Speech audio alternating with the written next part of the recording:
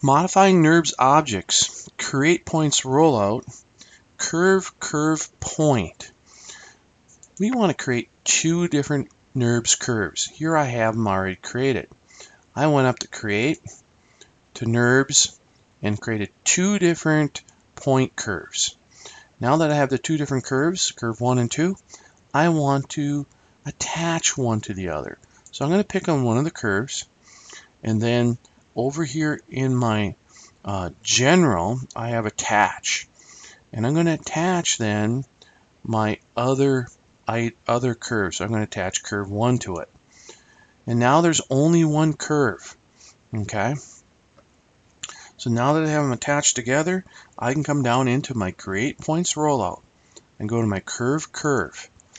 I'm going to come over and I'm going to highlight one of the curves. I'm going to run up. It creates a box. I'm going to come up till it runs into the intersection.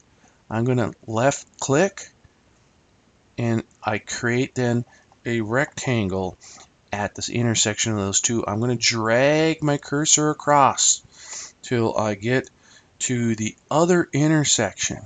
When I get to the other intersection, I'm going to click on it. And now at that point, um, I have an intersection point between those two curves. And I can now use these this information to um, manipulate my curve curve point. So I can right click and I can finish the command and pick outside of it.